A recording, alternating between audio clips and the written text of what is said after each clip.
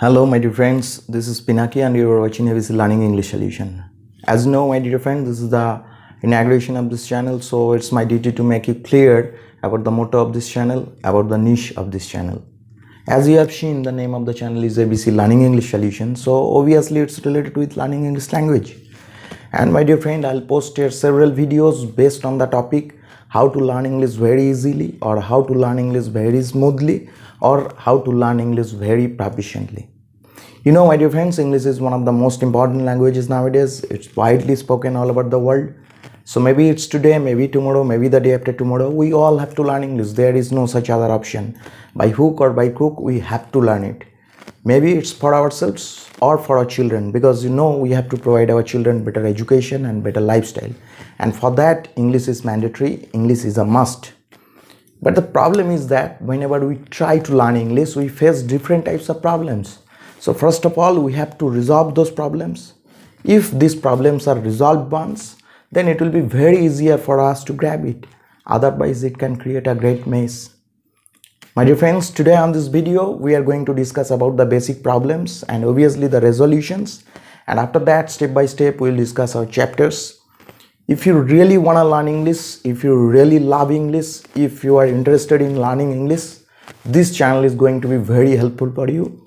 And I assure you, this channel is going to be very helpful for you. So my dear friends, without wasting time, let's get started. So friends, uh, you can see I have written here five points and all these points are very important for the English learners. And these are the basic problems which we suffer from.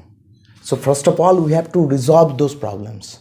We have to know clearly about all these problems and after that, we should start learning.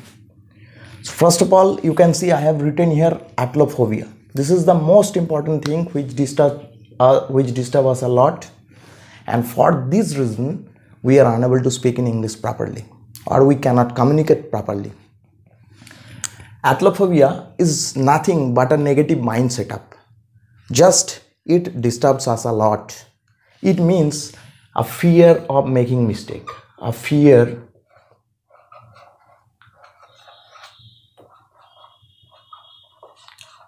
of making mistakes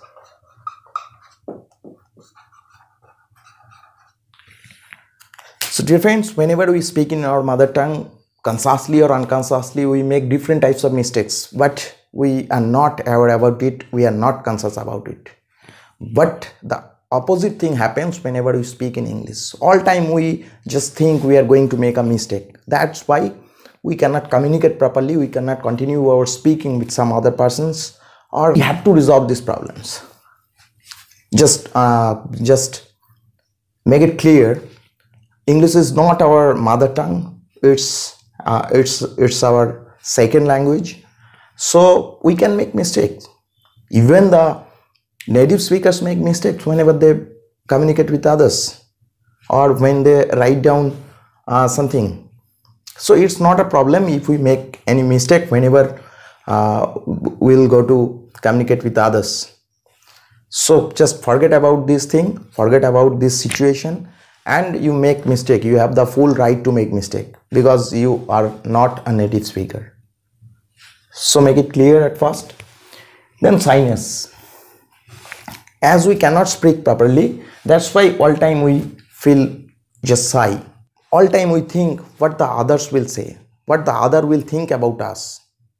But my dear friend we have to resolve this one.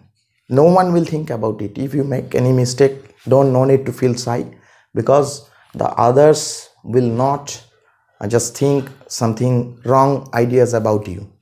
So we should uh, we should not think about it. Next one is grammar. You know my dear friends grammar is a vast subject and as this is not our uh, this is not our mother tongue uh, we we just it's clearly said that we are unable to go through all the rules of English grammar.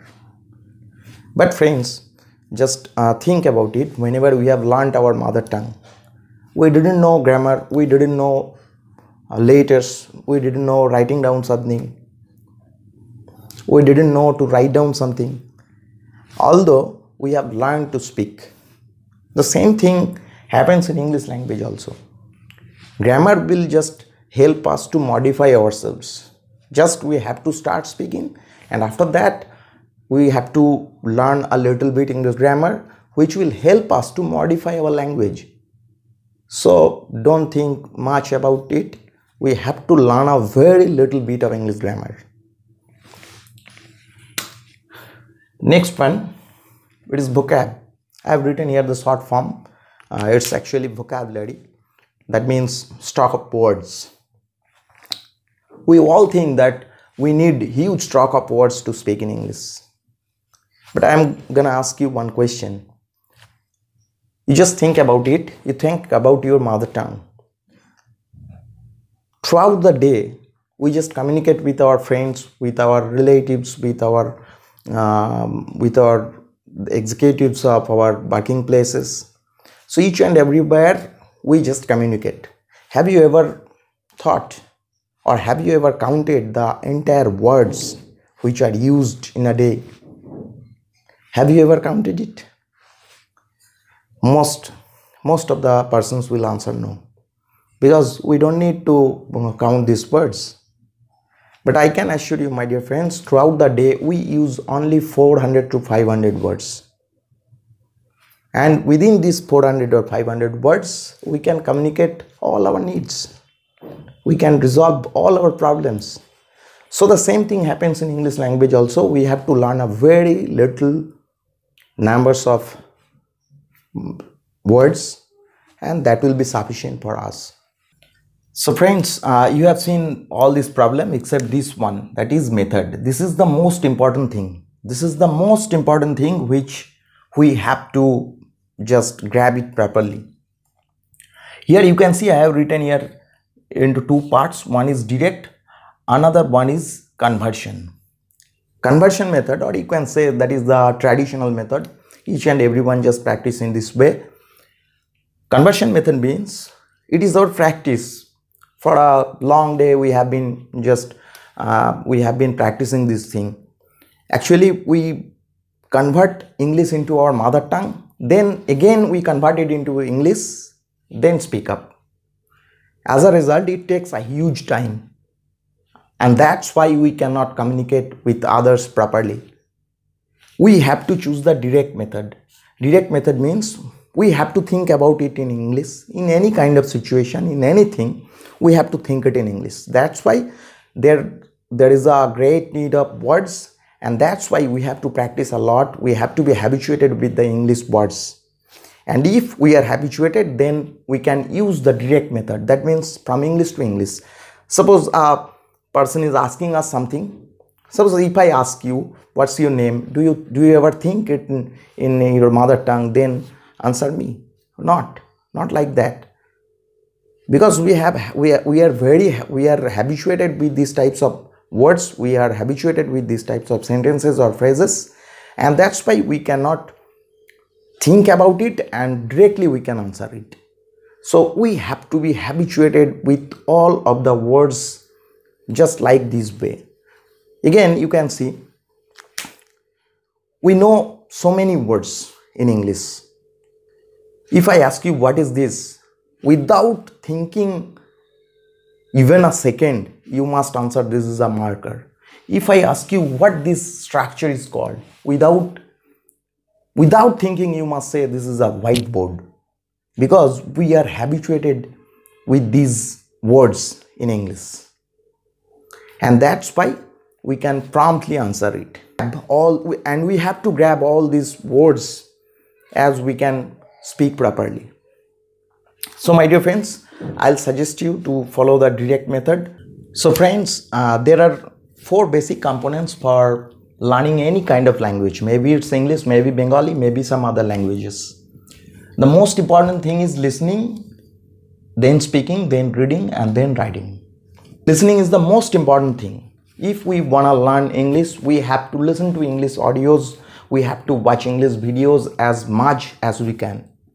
If, if we listen to it very carefully we will be able to speak up very easily otherwise it will take huge time if we only practice converting from one language to other will not be able to speak ever. Believe me, my dear friends, will not be able to speak up. That's why I'll suggest you to listen to English audios or watch English English videos as much as you can. This is the most important thing. If you listen to it, you will be able to speak, otherwise not. Then speaking. Speaking. My dear friends, we have to practice speaking. Maybe it's a mistake. Maybe it's a mistake. That's not a matter. Just we have to practice a lot. The best way, just uh, stand in front of your mobile phone and speak up. You think about a think about a situation. You think about a story, and then speak up in front of the camera. Record it, and after that, listen to it. If you say, my dear friends, if you say I cannot make sentences, I'm going to suggest you one thing. You just, you know about the fables, the short stories, very interesting stories. You just go through it repeatedly, go through it twice, thrice, or four times. You will be able to memorize it. And after that, just repeat it.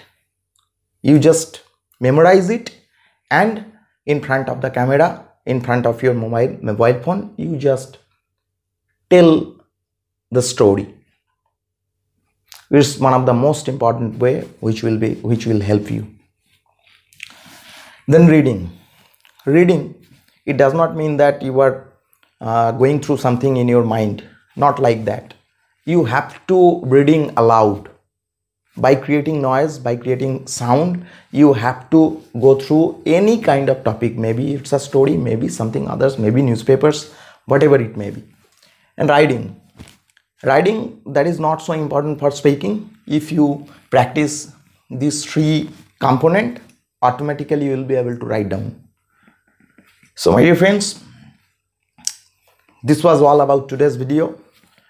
I think you like the video. If you like the video and if you really wanna learn english i will suggest you to subscribe my channel and obviously not forget to press the bell icon if you press the bell icon you will get notified as soon as I'll post any video. So my dear friends, thank you for watching. See you in the next video. Thank you very much.